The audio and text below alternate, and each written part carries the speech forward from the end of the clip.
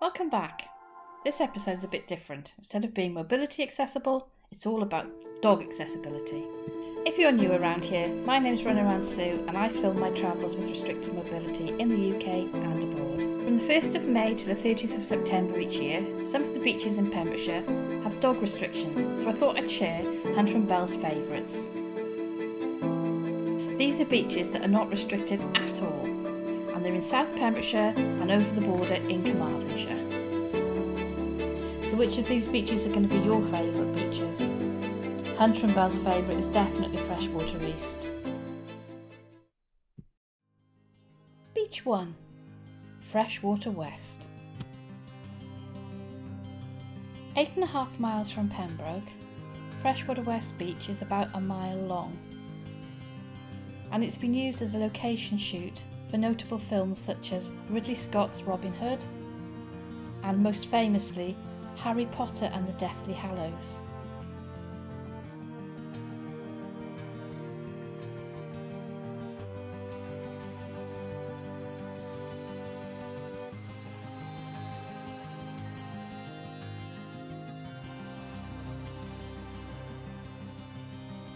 Freshwater West is one of the best surfing beaches in Wales. Do beware, there are dangerous riptides. Lifeguards do patrol this beach in the summer months. And a word of warning, be very careful when driving the very narrow lanes. Beach 2 Freshwater East Freshwater East Bay is about four miles east of Pembroke. It's a very small village where you will find the Freshwater Bay Holiday Park and the Freshwater East caravan and motorhome site. There are two dog friendly pubs. There's the Longhouse, which is close to the beach, and up on the hill there is the Freshwater East Inn. I do believe the Freshwater East Inn may only be open in the summer months though.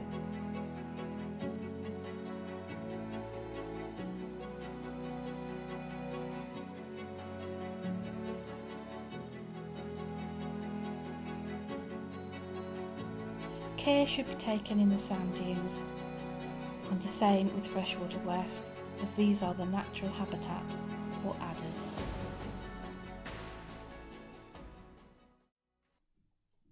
Beach 3 Pendine Sands.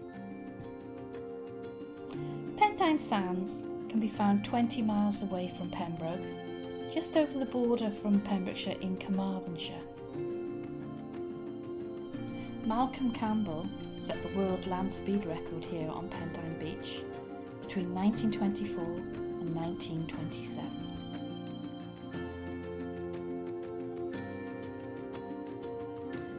The BBC's popular Top Gear programme have test driven on the beach three times.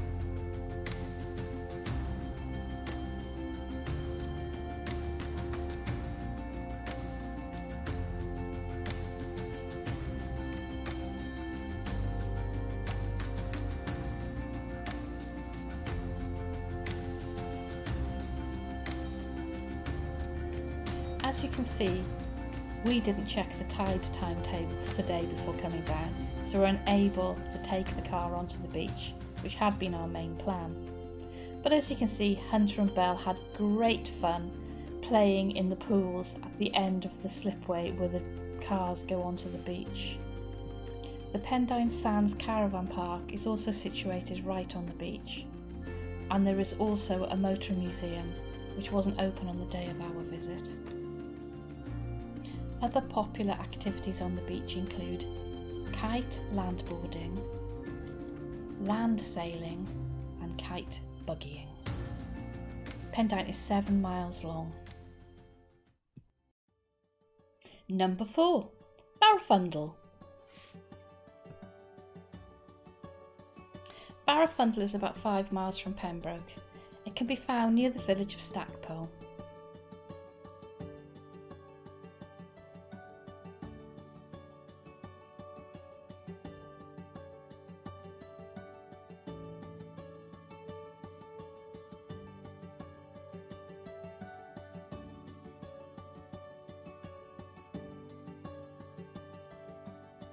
This National Trust beach is often quoted as being one of the best beaches in the world, and it's only accessible by foot on a path over the cliff tops. This walk is totally worth it because when you arrive, you see the blue ocean and the deep soft sand. It's almost magical.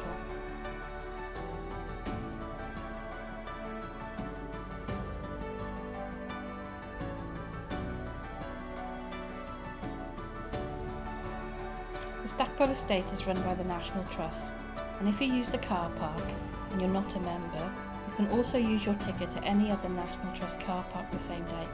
For example, you can do Barafundle and you can do Broadhaven South on the same day.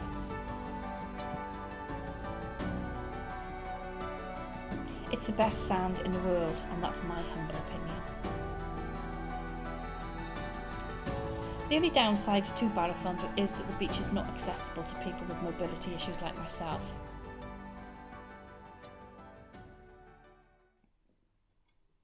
Number 5. Broadhaven South.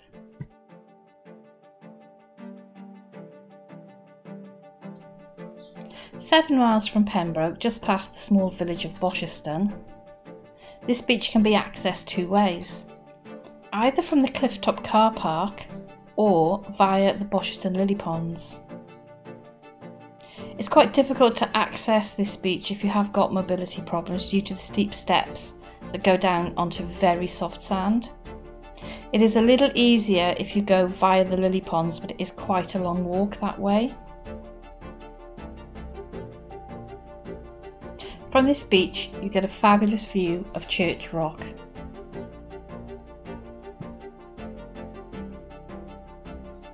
This beach is also part of the National Trust Stackpole Estate.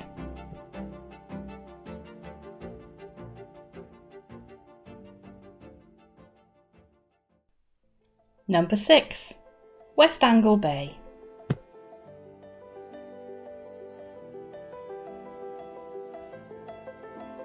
Eight miles from Pembroke and about as far west as you can go before hitting the Irish Sea, you find the village of Angle.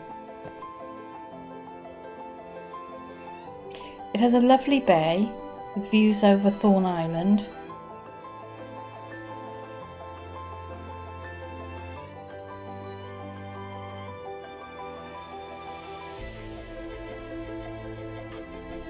A family friendly beach, with lots of rock pools for the little ones to adventure in.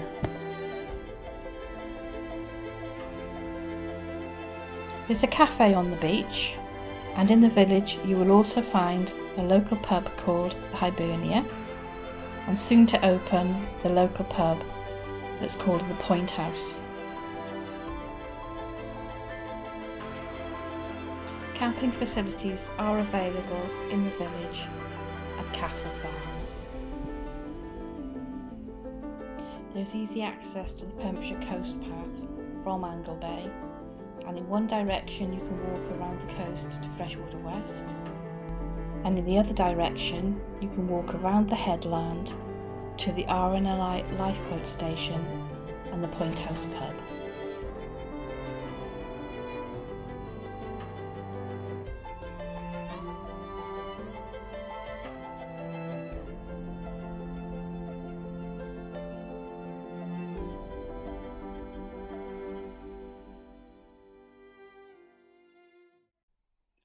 Number 7. Manorbier.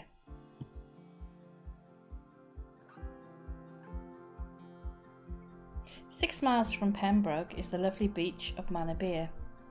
What's special about Manorbier Beach is that it is overlooked by a beautiful castle in which they filmed the BBC series The Lion, the Witch and the Wardrobe. Manorbier is a popular surfing beach and also you have easy access onto the coast path again where you can walk around to Swan Lake. The castle was built in the 12th century by the de Barry family.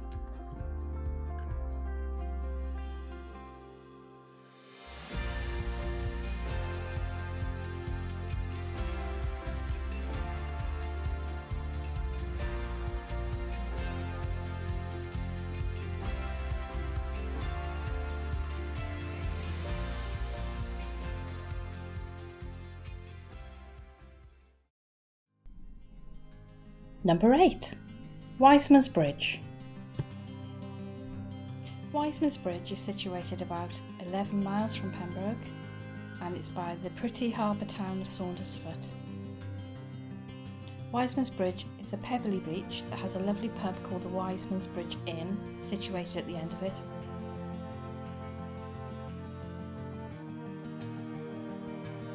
There are lots of walks that start from here. There's a lovely walk from here will take you into Saundersfoot via Coppet Hall. And there's another walk that will take you to the Stepaside Heritage Centre.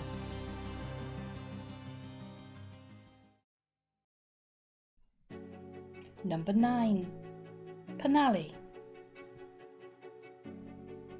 Penally Beach, with its wonderful views of Caldy Island, is a stretch of beach that runs from the west side of the South Beach in Tenby all the way through to Penally, alongside the award winning Tenby Golf Course. Also along this stretch of beach, you will find the Kiln Park Holiday Park and the Penally Court Holiday Park. So the stretch of beach goes all the way from Salty's Beach Bar up towards Penally Station car park. So you can access this beach from either end. Number 10 Skrinkle Bay. 10 miles from Pembroke, on the outskirts of Manorbier, this is a stunning hidden gem. The bay is surrounded by high cliffs and is accessed by a metal stairway. This may be difficult for some dogs and some humans as well.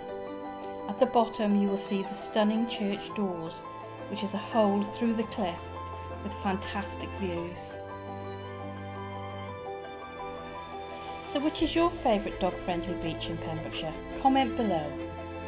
Between the 1st of May and the 30th of September, there are restrictions on Lydstep, Saundersfoot, Tenby Castle, South Beach and Amroth. And there is a total dog ban on Tenby North Beach. On their website, Pembrokeshire County Council say the aim of this is ensuring the safety and pleasure of the majority who wish to use the beaches for sunbathing and swimming or similar seaside leisure activities. I hope you enjoyed coming to the beautiful South Pembrokeshire beaches with Hunter, Belle and Runaround Sue. Bye for now.